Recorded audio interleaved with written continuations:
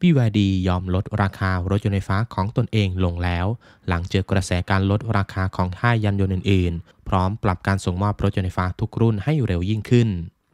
สนับสนุนโดย SIA สยามอินเตอร์การประมูล ง่ายๆ ใครๆ ก็ประมูลได้ มีรถมือสองมากกว่า 4,000 คันต่อเดือนให้เลือก จะซื้อไปใช้ก็ได้ หรือจะซื้อไปขายก็ดี การประมูลไม่ยุ่งยาก แนะนำที่ SIA สยามอินเตอร์การประมูล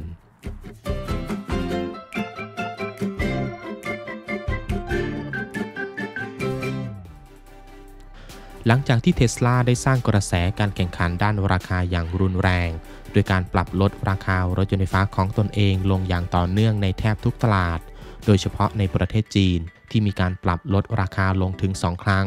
เป็นผลให้รถยนต์ไฟฟ้าเทสลารุ่นโมเดล 3 มีราคาเริ่มต้นที่ 1.1 ล้านบาทเท่านั้น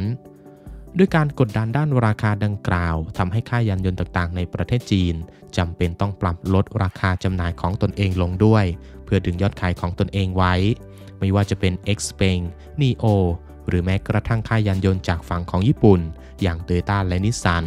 ก็ได้มีการปรับลดราคารถยนต์ไฟฟ้าของตนเองลงกว่า 300,000 บาทต่อคัน และในที่สุดก็ดูเหมือนว่า BYD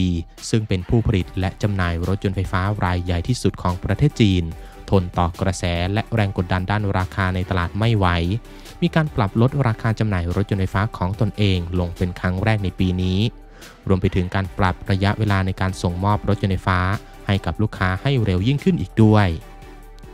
ตามรายงานของสำนักข่าวด้านยานยนต์ของประเทศจีน อย่าง China EV Post รายงานว่าการลดราคาดังกล่าว ครอบคลุมรถยนต์ไฟฟ้าของ BYD หลายรุ่น โดยประกอบไปด้วยซีรีส์ราชวงศ์อย่างตระกูลฮั่น ถัง ฉิน ซ่ง และหยวน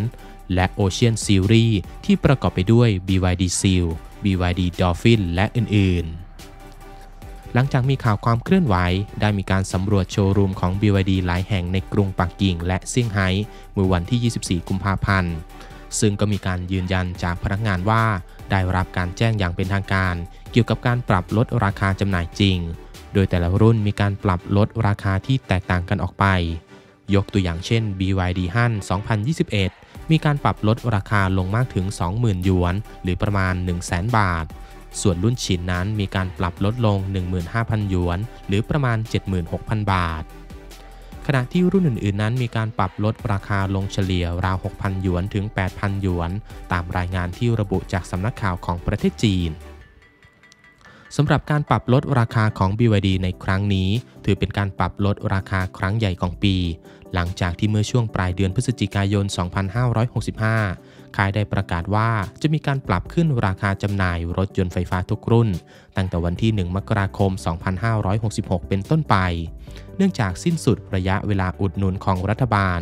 และเพื่อสะท้อนด้านต้นทุนของวัตถุดิบ ในการผลิตแบตเตอรี่ที่มีราคาสูงขึ้น แต่ด้วยแรงกดดันด้านราคาของตลาด ที่หลายค่ายยานยนต์ยังคงมีการปรับลดราคาลงอย่างต่อเนื่อง เพื่อตอบโต้สงครามด้านราคากับเทสลาจึงทำให้ BYD ตัดสินใจลดราคาจำหน่ายรถยนต์ไฟฟ้าของตนเองลงตามตลาดในที่สุด นั่นแสดงให้เห็นว่า BYD ต้องการรักษาส่วนแบ่งในตลาดของตนเองไว้ มากกว่าเรื่องของกำไร เนื่องจากในเดือนมกราคมปี 2566 ที่ผ่านมา ยอดขายรถยนต์ไฟฟ้าของ BYD ลดลงเข้าสู่ระดับ 1.5 แสนคัน ติดลบ